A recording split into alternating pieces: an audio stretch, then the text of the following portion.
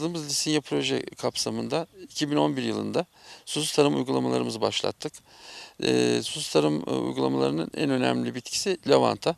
Kuşkusu lavanta kokusuyla rengiyle çekici bir e, bitki.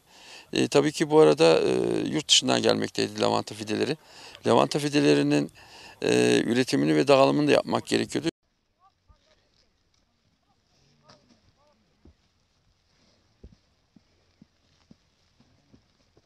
Ee, Özellikle lavanta angustifolia dediğimiz tıbbi lavanta türü e, tamamen yurt dışında üretilen lavantalardandı.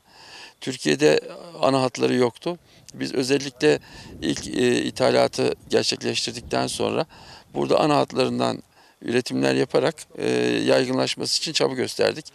E, toplamda e, 3 milyon e, fide üretimiyle başladığımız çalışmalar şu anda 10 milyon üzerine çıkmış durumda ama lavanta şu anda tabii ki e, tamamıyla görsel e, olarak insanları bulunduğu şehirlere çekiliyor. Oradaki e, turizm alanlarına çekiyor.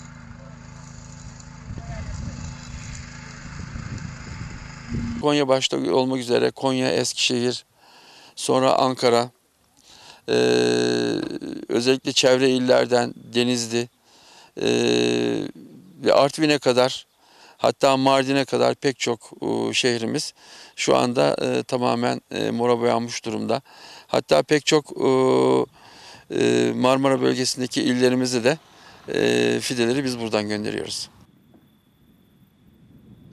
Yani lavantanın yanında lavanta fideciliği de ülkemizde yaygınlaşmış durumda. Isparta'da da bir miktar üretim var. Ama e, ciddi anlamda e, ülke fide ihtiyacının %60-70'ini e, lisin olarak biz karşılıyoruz.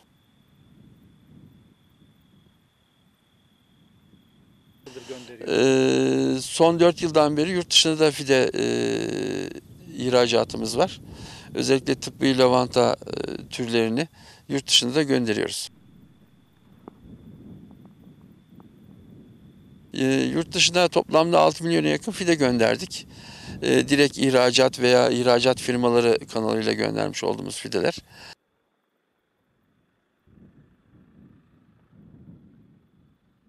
E, özellikle Türkiye Cumhuriyetlerden e, ciddi anlamda fidelere e, talep var. E, Azerbaycan, Özbekistan, Kazakistan gibi ülkelerde. Ve şu anda e, zaten e, turizm anlamında da yurt dışından gelen pek çok blogger veya e, blog yazarı pek çok kişinin özellikle e, geldiği bahçeler lavanta bahçeleri.